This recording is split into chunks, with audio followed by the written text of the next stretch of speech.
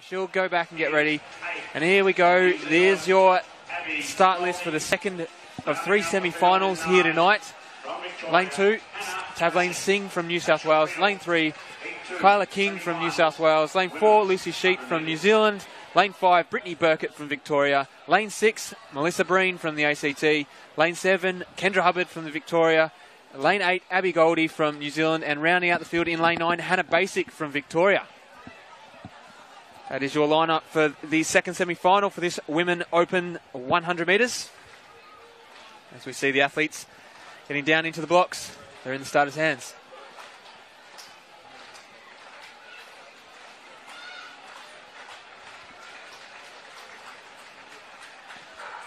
And as we would expect, fast start there by Breen, but she's been pushed on the inside by Burkett.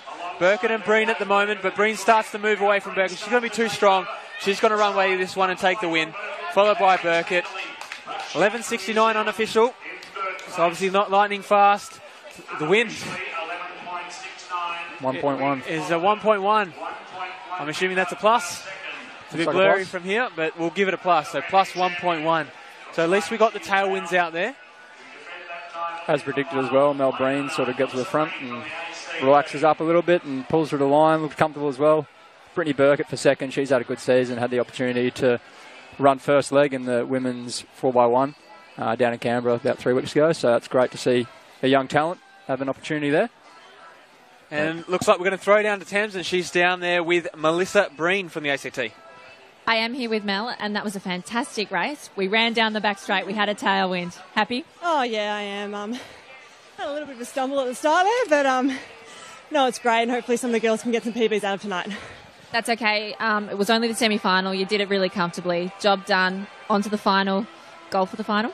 Yeah, that would be great. Um, see,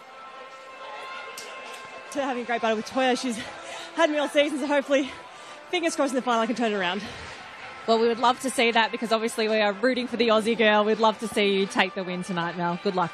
Thanks very much.